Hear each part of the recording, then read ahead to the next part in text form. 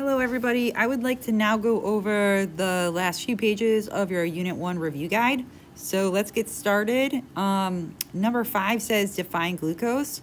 Glucose is a carbon containing sugar and it's created during photosynthesis. What can the glucose then be turned into and describe how it's used and why it's important to an ecosystem. The glucose can be used immediately for energy production, um, which is ATP and this is important uh, for energy and carbon cycling because CO2 is a product of respiration. And so the glucose is going to be broken down and being used to make ATP, which is going to allow the cell to function.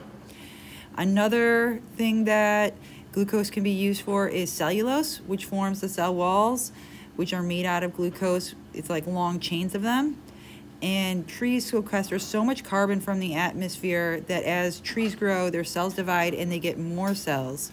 These cells all have cell walls made out of cellulose.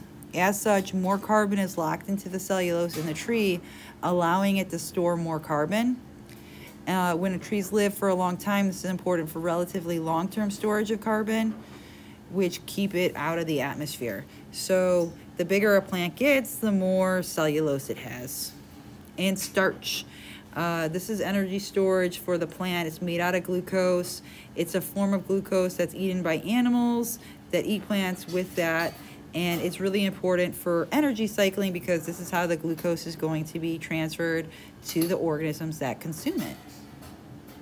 So during the process of photosynthesis, glucose is created and the glucose can then be assembled to make starch. Okay, so starch is this long chain of a bunch of glucoses attached together. So let me show you a picture of that. Okay, I'm gonna add that in. Okay, so notice that we have glucoses attached together to form this long chain, which is starch. So when the plant has excess glucose and it's not using it immediately for cellular respiration, it can use it for a longer term storage. Another way that plants use glucose is to make up their cell walls. So if you take a look at this picture, you'll notice that the cells have um, a wall that surrounds the outside of it. And these cell walls are made up of these cellulose chains, which again are those glucose molecules just chained up together. So when a plant makes its own glucose, it can use it for starch, which is that long-term storage, or it can use it for cellulose, which make up the cell walls for that plant but a lot of the glucose will be used by the plant for doing basic cellular respiration, where we're going to have that process, which is go cowie. And we're going to have the glucose and oxygen going into the equation, and then cowie going out of the equation. So we have CO2, we have water, which I don't see in this picture, okay? H2O, and then ATP, which is the energy, okay? So a lot of the glucose will be used for a basic plant respiration process. Because remember, by the time the organism that consumes the plant, only 10% of the energy is going to be able to be passed on to that organism that consumes it.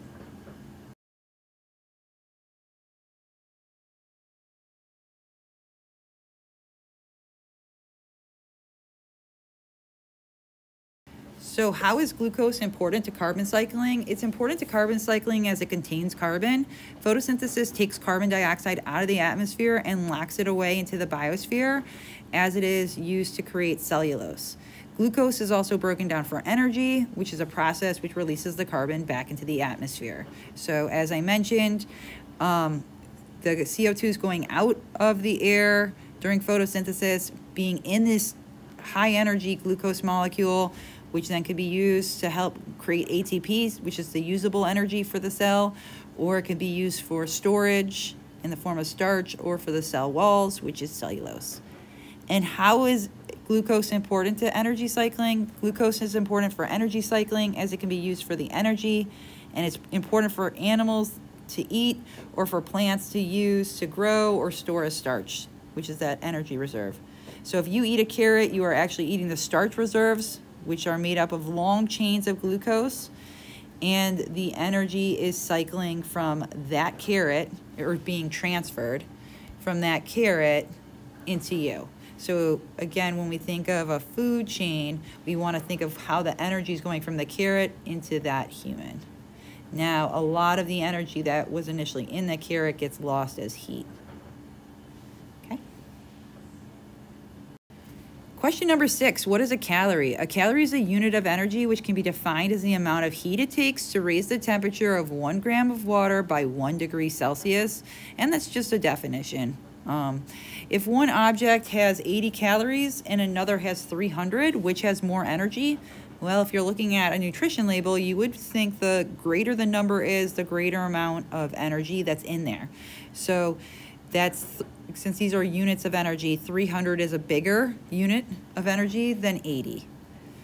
So what is the difference between a calorie and a kilocalorie? A calorie with the capital letter C is a food calorie, like what we see on nutrition labels, is a kilocalorie. So there are 1,000 calories, little lowercase c's, in one kilocalorie.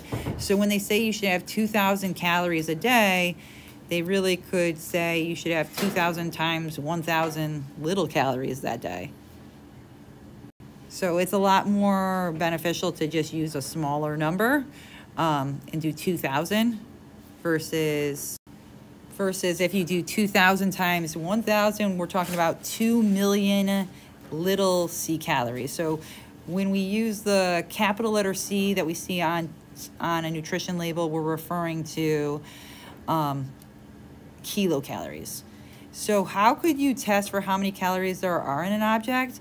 Well, there's a test that you could do where you burn the food. Um, when you burn the food, the energy that is stored within that food will be burned off, releasing out heat which is a type of energy.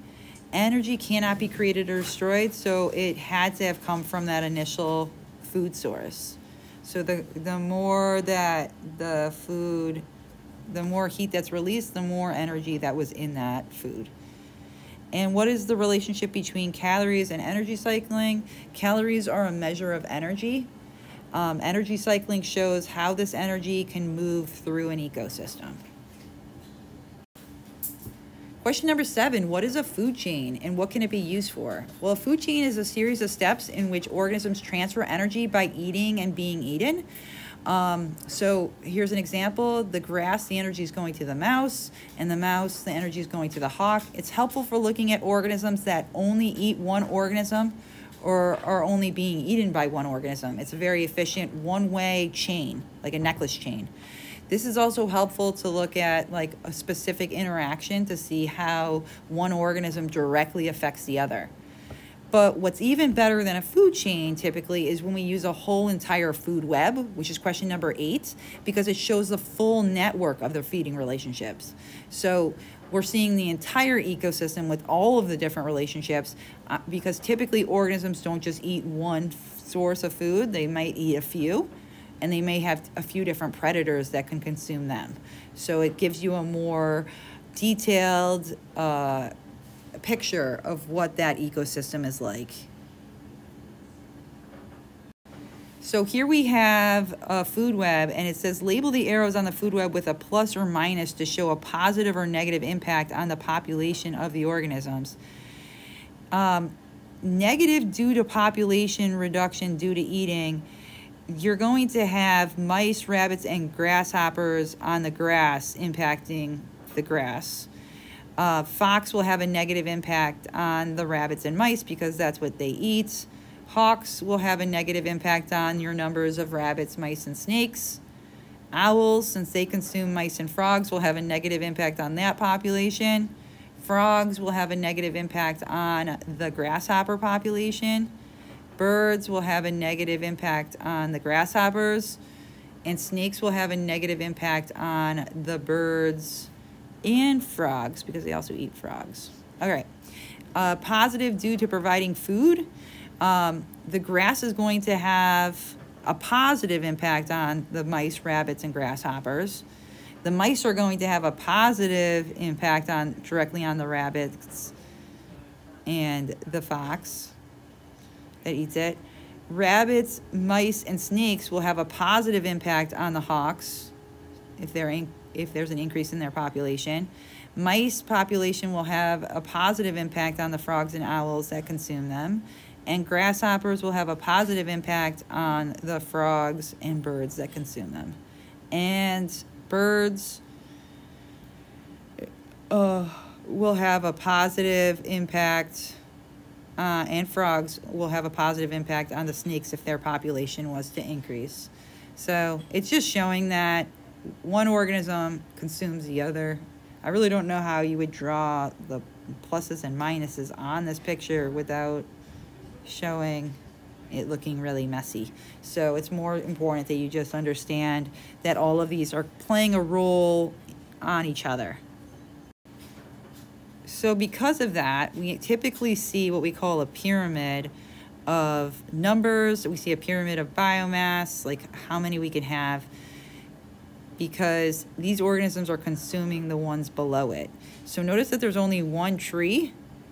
There's a lot of mass to that tree though. So even though there's only one tree, there, there's a lot of grams of that tree and each population above is getting a smaller and smaller amount.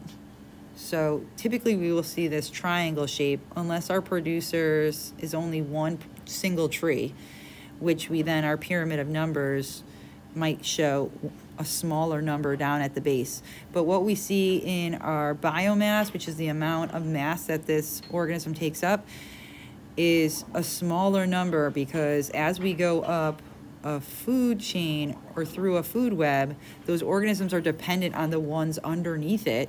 So, um, and it's not always efficient to get the energy from that organism, considering that only 10% of the energy can be passed on typically. So we're having less and less as we go up.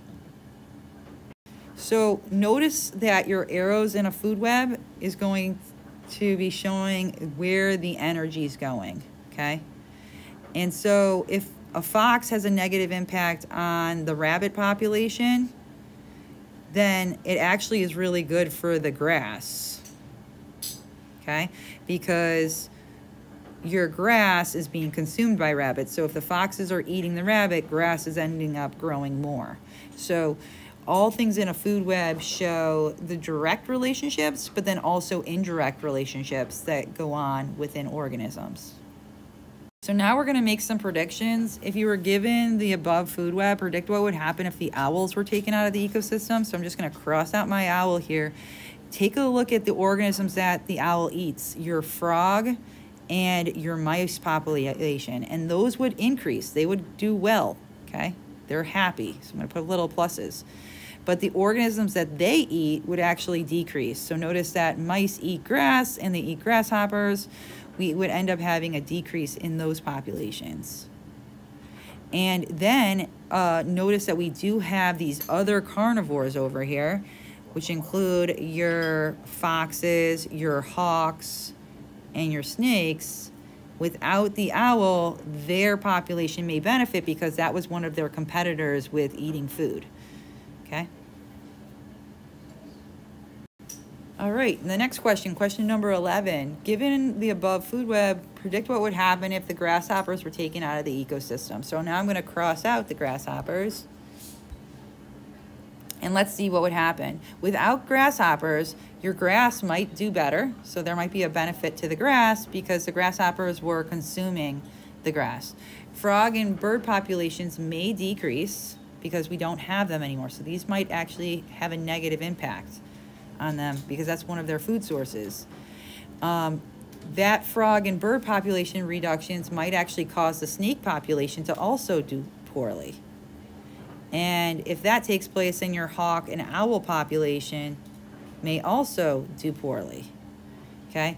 Because they have reduced prey. So this would be very negative to have one of these primary consumers, the grasshoppers, be eliminated. So when people are spraying pesticides, they have to be mindful that yes, you may be affecting one organism, but since they're in an entire web of interconnected species, they might be affecting the entire ecosystem. And in a way that they do not entirely want to affect it. So we don't want all of the species to decrease in number. We just wanted those insects to go away.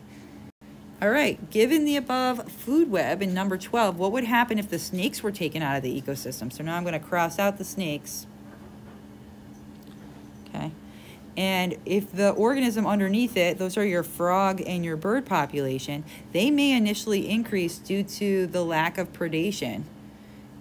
Um, so they don't have that predator eating them, so they actually might benefit. Okay. Um, this may cause an increase in their grass population because now we have more of that available because your grasshoppers decrease because they were able to eat more and then your grass was was in a more positive situation.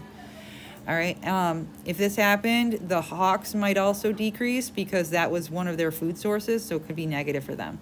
So it's not really important that you know exactly what would happen to every single organism, but considering that all organisms are connected in some way, if there is a sudden increase or a sudden decrease in that population, it may affect the other organisms in that web. Okay. So that's the goal is that you're able to see that sort of relationship. All right, question number 13. What are some examples of the trophic levels? So typically we will draw it as a triangle and you'll have your producers here at their bottom level. These are the organisms that are undergoing photosynthesis. Then we have your primary consumers right above that. They're the ones that eat the producers. We typically call them herbivores. Then we have your secondary consumers above that. Those are typically your carnivores or omnivores because they sometimes can eat both the plants and the animals.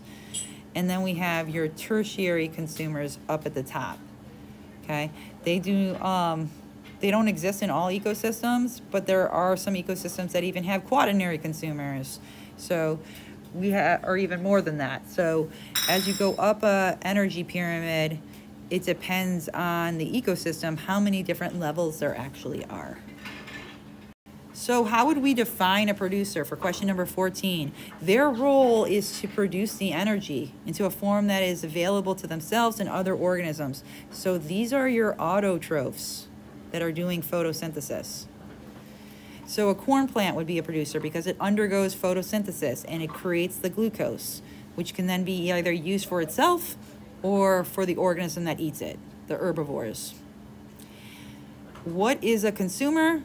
A consumer is going to need to consume, so they need to eat or obtain another organism for energy, so we call them heterotrophs because they're going to a different place for energy. And their role in energy cycling is that the energy is going from one of the organism and being transferred to the other. So we are consumers because we eat and we cannot make our own glucose from the sun. We need to make a sandwich. So we need to make food and then get the glucose from that food that we we obtain by eating.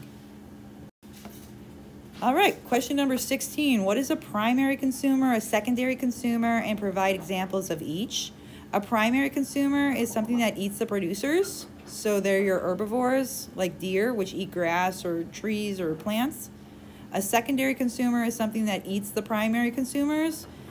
Um, they could be typically carnivores or they could be omnivores depending on what else is in their diet. A wolf eats a deer and then that deer was a primary consumer so that would make the wolf a secondary consumer. So animals can change places and don't have to be always a secondary or a primary consumer, especially if they're omnivores because they could be on either level. So a bear, for example, would never be at this lowest level because that's where the plants are. But the bear could either be here if it's eating berries or here if it's eating fish. So it could be on this level or this level, depending on what it's consuming. So it's it's the context that's really important to figuring out where they are on that energy pyramid. So how does an organism gain energy? It does this by photosynthesis at the beginning or by eating organisms that already did photosynthesis or eating an organism that consumed an organism that consumed an organism that did photosynthesis. So the idea is that we either, the organism either had to make it using uh, the sunlight and converting CO2 and water into glucose or by eating an organism or eating something, uh, yeah, eating an organism that is made up of glucose. We also need food for materials to build our bodies. So we also need fat, protein, and carbohydrates in our diet. All right, question number 18. What does most of the energy the ecosystem gains go to? Most of the energy an organism takes in or makes is used for cellular respiration, or it ends up being lost in waste or in heat loss. So this is important that most of the energy that an organism takes in ends up getting lost. And so I have a picture that I'll show you again from the first video where the cow is taking in all of this plants, but then it's not digesting all of it, and then it's using it up, and then a lot of heat's lost, so not all of it's used for growth. So typically what we see is that energy gets passed from the next trophic level when it's eaten and only around 10%, and it could vary. So the picture I show you shows you around 25%, but it's usually in a range of 5 to 15, depending on the organism, where 10% of the energy can be passed from one trophic level to the next.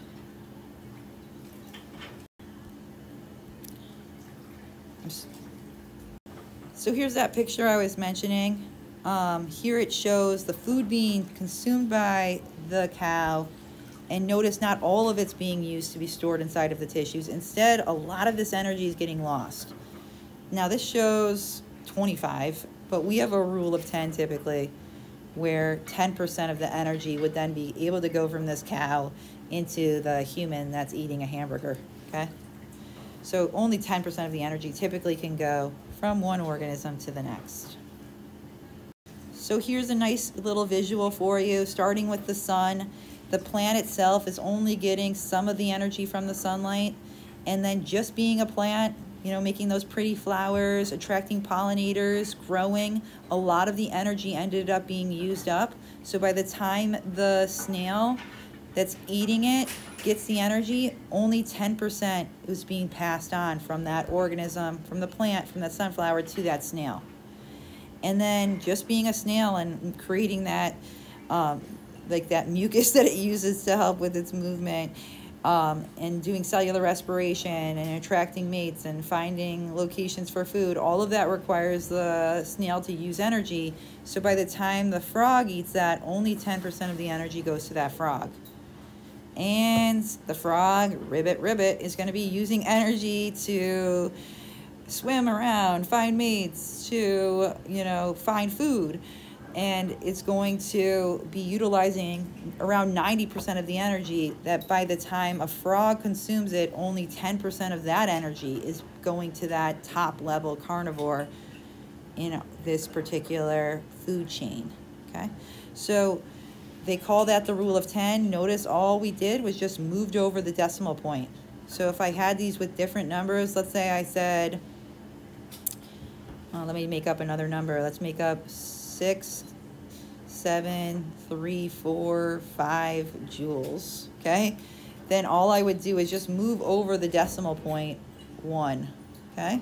So I would go 0.5 joules for and then for this next level, I would do six, seven, three, four, five, and I'd have the decimal point here. And then I would move it one more here because you're doing 10%. Okay, so you're just really moving over your decimal point over, which makes it really easy to do versus needing to take out a calculator. All right, thank you for watching.